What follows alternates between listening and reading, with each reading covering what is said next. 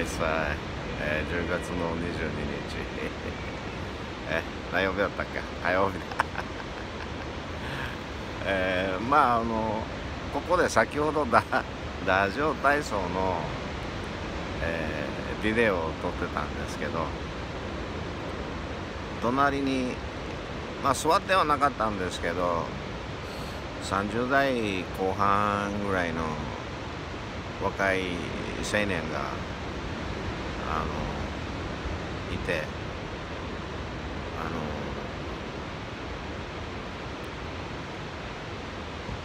座ってもいいかって俺が聞いたら「ああちょっと俺の話を聞いてくれるか?」とかって言うから「いいよ」とかって言って言ったらなんとなくめっちゃストレスを感じてて悩みがいっぱいでっていう風に感じに見えたんですね。で彼が言ってきたのが俺のことどういう風に映ってる？っていう風に聞いてくるから悩んでるの？っていう風な感じであの彼は答えが得られると思ってたかもしれないんですけどまああなたは僕の好きな言葉でねまあ天才に見えるし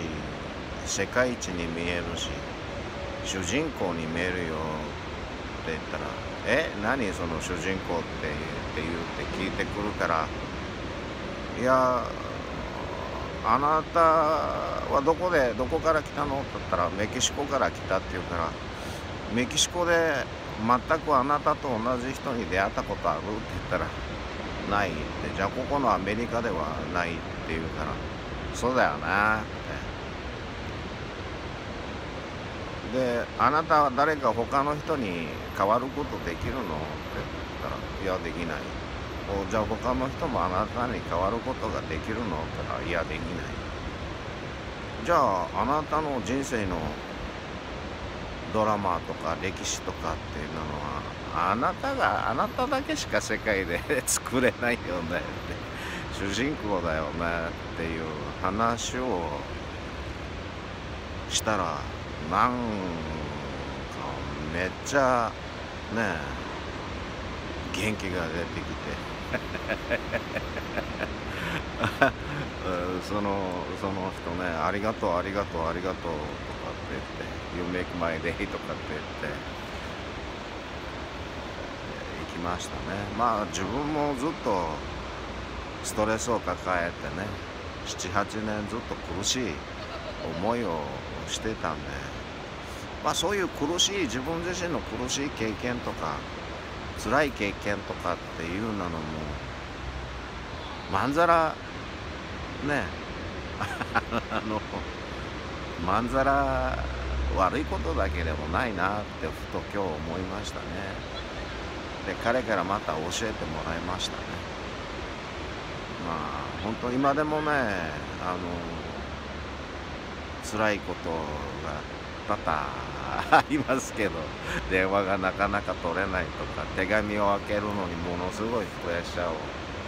感じるとかそういうのがあるんですけど。まあですからね。ふと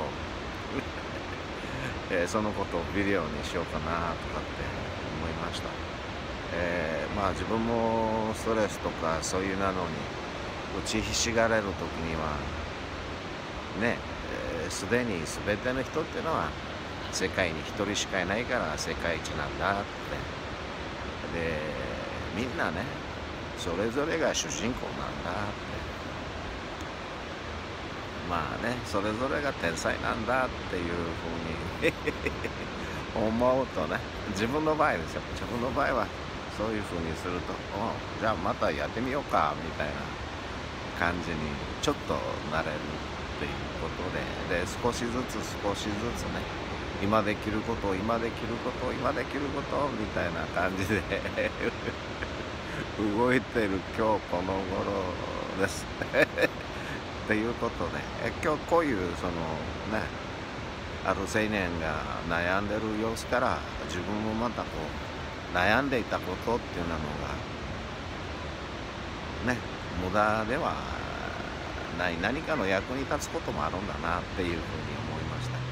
た。でねやっぱりこうすげえ日差しが強くてちょっと カーバーやらなんやら影にしてるんですけどこの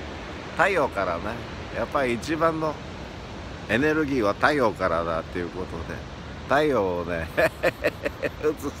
やっぱり日差しとか感じますもんねこうね。日差しとかね。まあそういうことで ちょっとしたことがありましたっていう。で辛い経験もねこう誰かに話してあげるとああそうなんだ。俺だけじゃないんだ悩んでるのは。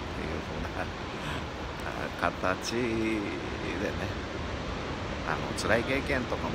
役に立つことがあると思いますので今現在ね何かの形で悩んでいるからまあそれも一つの勉強なんだみたいな感じで 軽くね捉えてみられるのはいかがでしょうかということで。さすがです。Thank you for watching です。ありがとう。